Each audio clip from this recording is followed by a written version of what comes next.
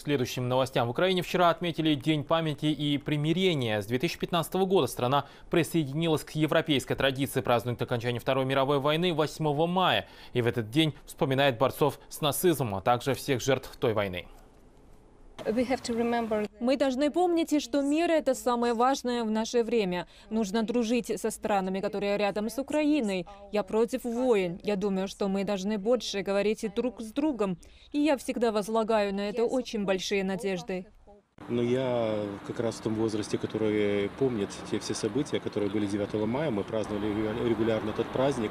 Со временем мы, э, людей, которые потеряли своих близких, родных, даже мой дед погиб, э, был ранен во время Второй мировой войны и э, потом умер.